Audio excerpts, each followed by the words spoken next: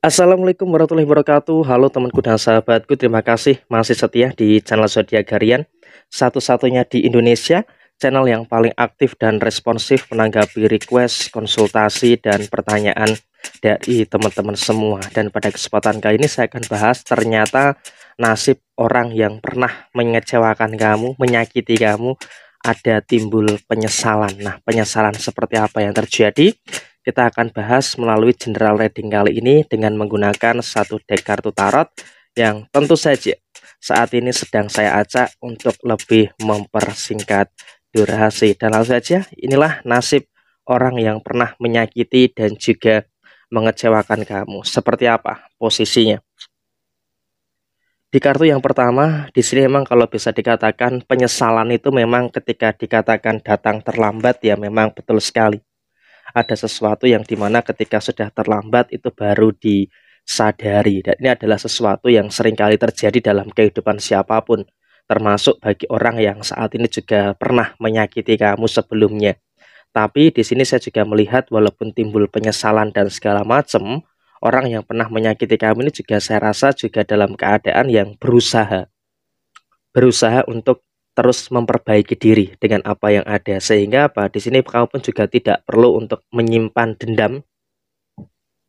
Tidak perlu untuk membalas dendam dengan situasi-situasi yang ada karena emang segala sesuatunya itu kan juga biarlah semesta yang bekerja untuk itu semua. Walaupun orang yang menyakiti kamu ini pernah menimbulkan masalah pernah menimbulkan persoalan-persoalan yang terjadi dan juga memberikan beban atau tekanan tersendiri di dalam diri kamu, tapi di sini saya juga berharap kamu harus bisa untuk lebih berpikir logis, bisa untuk lebih berpikir positif yang ada dalam diri kamu sehingga apa? Kamu dalam kondisi yang baik, kamu dalam kondisi yang mampu untuk terus bersikap dewasa dan mampu untuk bagaimana lebih terfokus dengan segala kebaikan yang ada di dalam kehidupan kamu. Karena ketika kamu bisa fokus dengan segala kebaikan yang ada di dalam diri kamu, tentu ini juga akan memberikan satu hal yang baik ini juga akan memberikan satu hal yang positif yang ada di dalam posisi kehidupan kamu. Dan saya rasa bagi kamu yang saat ini mungkin merasakan pernah disakiti, dihianati dan segala macam tentu rasa dendam itu masih ada. Tapi ya tolonglah untuk diminimalkan. Karena terkadang ketika masih tersimpan dendam-dendam yang ada ini bisa menghambat situasi-situasi yang baik yang terjadi di dalam diri kamu. Dan saya berharap hal ini tidak boleh muncul saya berharap hal ini tidak boleh terjadi di dalam kondisi kehidupan kamu. Karena kalau hal ini terjadi, saya takut ini akan memicu terjadinya perkara, akan memicu terjadinya permasalahan yang baru dalam diri kamu. Padahal ketika kau bisa menetralisir dendam, menetralisir keadaan, saya rasa kau pun juga akan berhadapan dengan semangat yang baik, kamu juga akan berhadapan dengan situasi-situasi yang positif yang ada dalam diri kamu. Tapi ketika memang kau masih ada dendam, masih ada beberapa pikiran negatif yang menuju ke sana, tentu ini juga akan memberikan situasi yang terhambat terkait dengan keberhasilan dan juga kesuksesan nanti kamu ke depannya. Jadi ya saya berharap memang ya segala sesuatu itu memang harus difikirkan terlebih dahulu. Dan di sini kamu pun juga nggak usah terlalu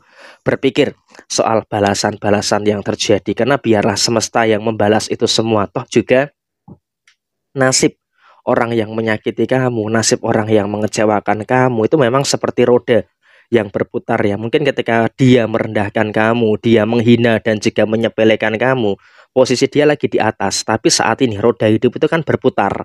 Jadi ya posisi dia saat ini ada di bawah. Jadi ya situasinya adalah memang segala sesuatunya ini betul sekali ada balasannya dan roda hidup itu selalu berputar dan dia pun juga akan mengalami beberapa permasalahan yang terjadi akan mengalami beberapa permasalahan yang muncul di dalam kehidupan dia termasuk salah satunya adalah dia pun akan mengalami krisis finansial dia akan mengalami sisi ekonomi yang terjun bebas ataupun bahkan dia pun juga terlilit beberapa pinjaman-pinjaman yang ada di dalam kehidupan dia. Sehingga di sini kamu pun juga bisa melihat gitu loh bahwa orang yang menyakiti kamu bahwa orang yang pernah mengecewakan kamu dan segala macam itu memang sedang mengalami krisis moneter sedang mengalami krisis finansial di dalam kehidupannya. Jadi ya saya rasa emang kamu pun juga harus bisa untuk lebih waspada harus bisa untuk lebih berhati-hati dengan keadaan-keadaan yang muncul, dengan keadaan yang terjadi di dalam posisi dirinya saat ini. Karena memang terkadang kalau dia ini tersinggung,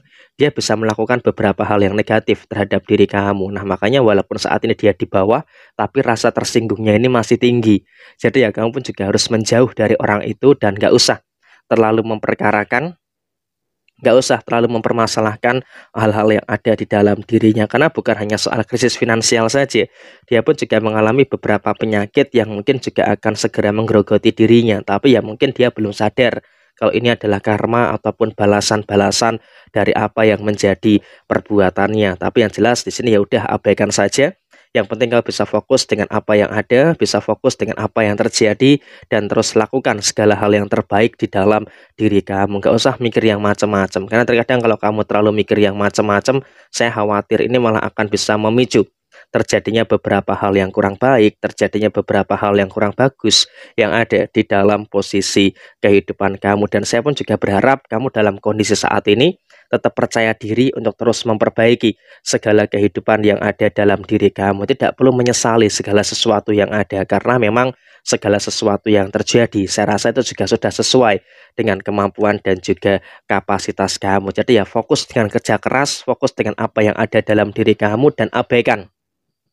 segala distraksi dari siapa pun yang menyakiti kamu karena ya balasan itu sangat nyata balasan itu akan semakin dekat dan sebentar lagi akan terrealisasi bagi mereka yang pernah menyakiti kamu sebelumnya. Jadi ya situasinya kurang lebih seperti ini. Jaya Jaya Wijayanti, Lepur Dene Pangastuti, Jaya Hadi Rahayu, Rahayu, Rahayu, Rahayu Sagung Dumadi. Wassalamualaikum warahmatullahi wabarakatuh. Nah memang segala sesuatu yang terjadi, saya rasa itu juga sudah sesuai dengan kemampuan dan juga kapasitas kamu. Jadi ya fokus dengan kerja keras, fokus dengan apa yang ada dalam diri kamu dan abaikan segala distraksi dari siapa pun yang menyakiti kamu karena ya balasan itu sangat nyata, balasan itu akan semakin dekat dan sebentar lagi akan terrealisasi bagi mereka yang pernah menyakiti kamu sebelumnya. Jadi ya situasinya kurang lebih seperti ini Jaya Jaya Wijayanti Lepur Dene Pangastuti Jaya Hadi Diningrat Rahayu Rahayu Rahayu Rahayu Sagung Dumati Wassalamualaikum warahmatullahi wabarakatuh Mau konsultasi langsung dengan kami? Yuk gabung langganan zodiak harian. Caranya klik link yang ada di deskripsi atau klik icon gabung sebelah kanan tombol subscribe YouTube Zodiak Harian. Dengan berlangganan, kamu bisa langsung konsultasi langsung dengan tarot reader zodiak harian dan mendapatkan video eksklusif di YouTube zodiak harian. Mau konsultasi langsung dengan kami? Yuk gabung langganan zodiak harian. Caranya klik link yang ada di deskripsi atau klik icon gabung sebelah kanan tombol subscribe YouTube zodiak harian. Dengan berlangganan, kamu bisa langsung konsultasi langsung dengan tarot reader zodiak harian dan mendapatkan video eksklusif di YouTube zodiak harian.